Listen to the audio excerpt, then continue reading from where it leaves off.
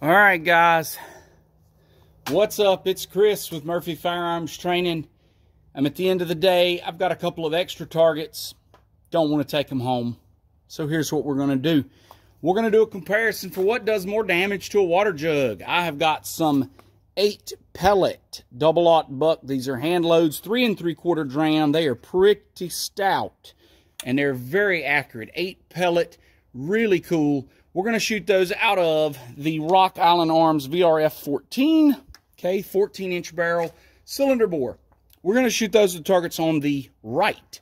The targets on the left will be shot with the Ruger Alaskan with a 300 grain Hornady XTP hand load. It is a 45 Colt plus P that is for Rugers only.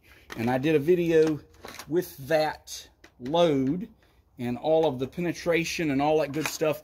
And it was probably the best splash and the the correct amount of penetration for me. So I think it was the best of the loads I tested.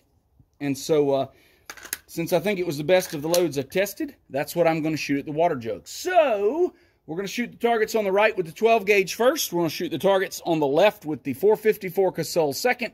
And they're sitting at about three yards, three and a half yards. They're pretty close because we want to do maximum damage. So here we go. Let's do some shooting. Uh, that is the jug, and that is the two liter. Okay, so the 12 gauge, uh, 12 gauge does some damage.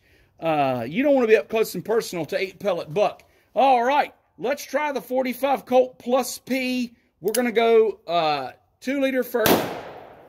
Oh, I missed. I jerked the trigger. Let's shoot the gallon jug. All right, that did better. Um, well, as much as I like the uh, 454 with 45 Colts in it, I'm going to tell you I think the 12 gauge, my humble opinion, I think the 12 gauge wins. Uh, but you be the judge. Uh, up close and personal, a shotgun is just a, a really awesome weapon. And uh, the 454 is no joke either, but it penetrates deeper. The, the uh, kind of uh, explosive effect goes to the shotgun. So anyway, that's it, guys. Just kind of a short video to, to blast up a few targets. I thought it'd be fun. Um, you know, eh. So anyway, hope you enjoyed it. Please like and subscribe. Appreciate those thumbs up. If you have video ideas, send them to us. Uh, we would love to hear from you. If you have questions about anything on our channel, please put it in the comments or shoot us an email. Thanks, guys. We really do appreciate it. All right. So my OCD got the best of me. I couldn't stand it. I got that jug. I pulled it low because I was in a hurry with the 454 shooting 45 Colt plus P. I rushed my shot. And uh, so I got the VRF 14 loaded up one, more buckshot. And we're going to take out that two. Because I can't stand it. So anyway, now that's the end of the video. Thanks for watching.